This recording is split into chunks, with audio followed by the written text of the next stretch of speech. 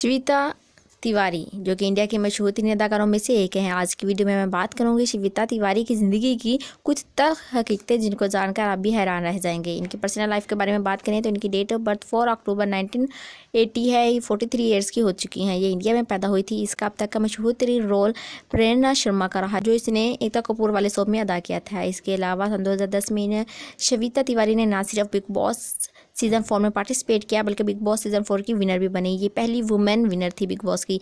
1998 में राजा चौधरी के साथ इन्होंने शादी कर ली, मगर शादी के कुछ माह बाद ही राजा ने तिवारी के साथ बहुत ही झगड़ा शुरू कर दिया था, और ना सिर्फ़ घर में बल्कि शो के सेट पर आकर भी श्वेता के साथ मिसबिहेव करता था, जिसकी वजह से श्वेता तिवारी मेंटली तौर पर बहुत ही डिस्टर्ब हो गई, और आखिरकार सन 2000 में इनको बहुत ही प्यारी सी बेटी हुई।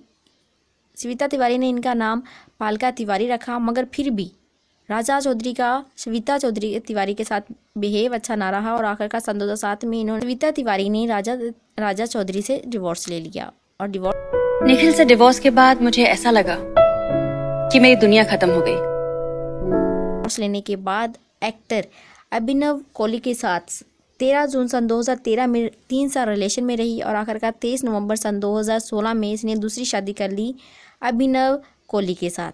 सन दो में इसको बहुत ही प्यारा सा बेटा हुआ, जिसका नाम इसने रियानिश कोहली रखा। मगर स्टेप फादर आखिरकार स्टेप फादर ही होता है। कोहली का बिहेवियर शविता तिवारी की बेटी के साथ अच्छा नहीं था। सन 2019 में शविता तिवारी ने कोहली को domestic violence and harassment case case में जेल भेज दिया। उस जिसके बाद सविता तिवारी, कोहली से अलग हो गई और अब इंडिया के बहुत से ड्रामों में अदाकारी करती नज़र आती हैं।